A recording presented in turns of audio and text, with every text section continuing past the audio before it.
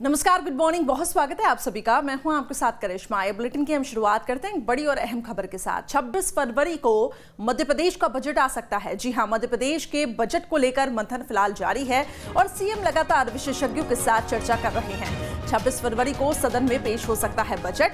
वित्त विभाग पर वित्त विभाग इसकी पूरी तैयारियाँ कर रहा है। 22 फरवरी से विधानसभा का सत्र शुरू होने जा रहा है।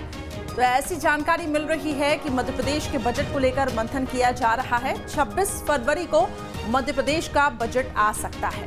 तो केंद्रीय बजट के बाद अब राज्य का बजट और मध्य प्रदेश का बजट इसी कड़ी में। लेकिन ये भी देखना होगा, क्योंकि ये जानकारी मिल रही है कि ये बजट भी पेपरलेस होगा। तो मध्य प्रदेश के बजट को लेकर मंथन जारी है। सीएम लगातार विशेषज्ञों के साथ चर्चा कर रहे हैं। 26 फरवरी को सदन में बजट पेश हो सकता है, जिसमें वित्त विभाग पूरी तैयारियों में जुट गया है।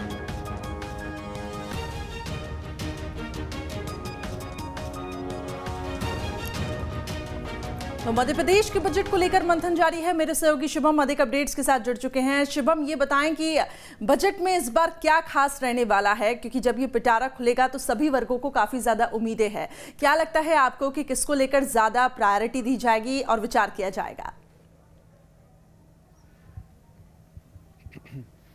देखिए, बिल्कुल ठीक कहा आपने। 22 फरवरी से मध्य प्रदेश विधानसभा का बजट सत्र शुरू होने जा रहा है और 2020 में हमने देखा कि मार्च के महीने में ही बजट सत्र होना था। उस समय कांग्रेस सरकार के वित्त मंत्री तरुण भनोट बजट पेश करने वाले थे 19 मार्च को, मगर बजट तो पेश नहीं हुआ, सरकार बदल गई। अब नई सरकार आई है, शिवराज सरकार आई है, नए वित्त मंत्री हैं जगदीश देवड़ा, और वो बजट पेश करेंगे। अब इसको लेकर मध्य प्रदेश में लगातार तैयारियाँ चल रही है। जो केंद्रीय बजट आया है, उसको भी काफ़ी ध्यान से सुना, समझा और उसके बाद मध्य प्रदेश सरकार अब अपना बजट तैयार कर रही है। मुख्यमंत्री शिवराज सिंह चौहान ने बजट को लेकर कई मीटिंग्स की है।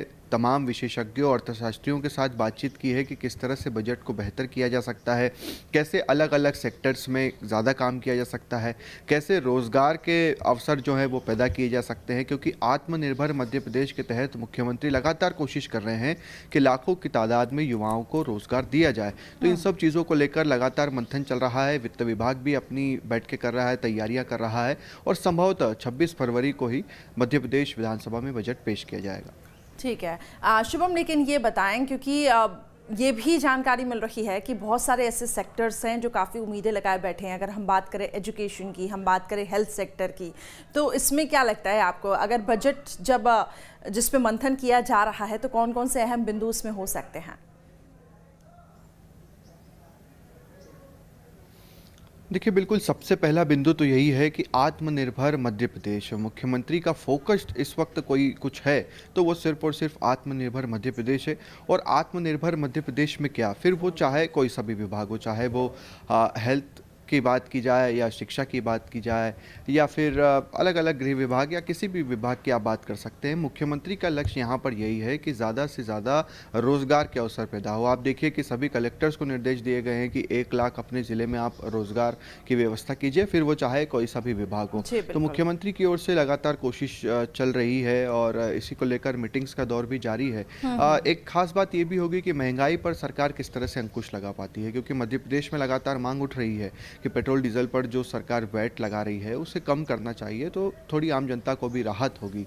तो उस बारे में भी देखना होगा कि सरकार किसी तरह का कोई फैसला लेती है, क्योंकि अंतर्राष्ट्रीय भाव जो है, वो अलग चल रहा है। सरकार के पास अपनी भी सीमाएँ हैं, सरकार के पास अपने भी अधिकार हैं, और जो वैट सरकार वसूल रही है, उसे कम कर कर आम लोगों को थोड़ी सी छूट या थोड़ी सी सहायता ज़रूर की जा सकती है। चलिए ये बहुत ही महत्वपूर्ण बात आपने बताई कि रोज़गार को लेकर हो सकता है इसमें मंथन हो और बढ़ती महँगाई को लेकर इसमें चर्चा की जाएगी।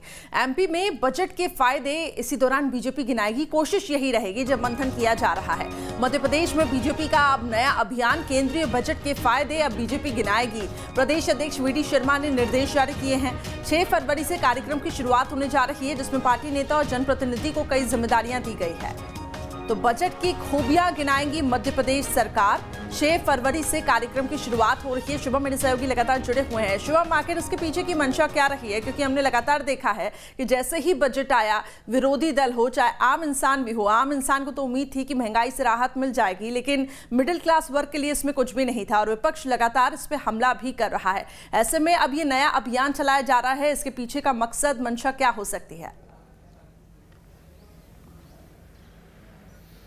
देखिए, इस पे, इसके पीछे का सबसे बड़ा मकसद यही है कि जो कांग्रेस लगातार प्रचार प्रसार कर रही है कि बजट बिल्कुल ठीक नहीं है, मध्यम वर्ग की कमर तोड़ कर रख दी है। अब ऐसी स्थिति में बीजेपी की यहाँ पर यही कोशिश है कि जनता के बीच जाया जाए, जनता को बताया जाए और हमने इससे पहले भी देखा है कि बीजेपी को जब जब मौका मिला है या जब जब ऐसे विषय आए हैं, बीजेपी जनता के बीच जाती है। अब उदाहरण के तौर पर आप किसान आंदोलन देखिए, नया कृषि बिल देखिए।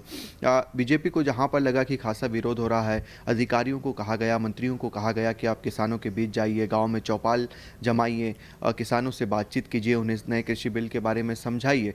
तो कुछ इसी तर्ज पर बजट की भी अगर हम बात करें जिस तरह से बजट आया है और उसके बाद जो सवाल उठने लगे हैं तो उन सब चीज़ों को लेकर ये बतलाने की कोशिश होगी कि देखिए, किसानों के लिए हम बेहतरी से काम किया है। हमने हेल्थ सेक्टर में एक सौ सैंतीस प्रतिशत बजट बढ़ाया है। कोरोना का टीका लग, सबको लगने वाला है। वैक्सीन तीस से पैंतीस हज़ार करोड़ का बजट उसके लिए रखा है। तो इस तरह से अच्छी चीज़ें जो बजट की है, वो सारी की सारी जनता के बीच बीजेपी लेकर जाएगी। ठीक है, चलिए। बने रहे शुभम, मेरे साथ लगातार आपसे अपडेट्स लेते रहेंगे। तो सीएम शिवराज सिंह चौहान और इसके साथ ही बीजेपी का अब यही मकसद है कि किस तरीके से ये जो केंद्रीय बजट है, इसकी खूबियाँ, इसके फ़ायदे जनता तक पहुँचाए जाएँ।